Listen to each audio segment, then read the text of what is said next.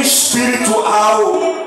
E todos nós precisamos ter visão espiritual. Nós precisamos buscar visão espiritual da parte do Senhor. Por quê? Porque quem tem visão espiritual olha para a prova, olha para o momento difícil. Só que quem tem visão espiritual não olha só para a provação, não olha só para a humilhação, não olha só para a dificuldade. Quem tem visão espiritual olha também pelos olhos da fé depois da provação, depois da dificuldade, depois da humilhação. Porque quem não tem visão espiritual só olha para a dificuldade, só olha para a provação. Quem não tem visão espiritual, muitas das vezes não vai entender o trabalhar de Deus. Mas quem tem visão espiritual sabe que depois do deserto, que depois do Jordão, tem a terra que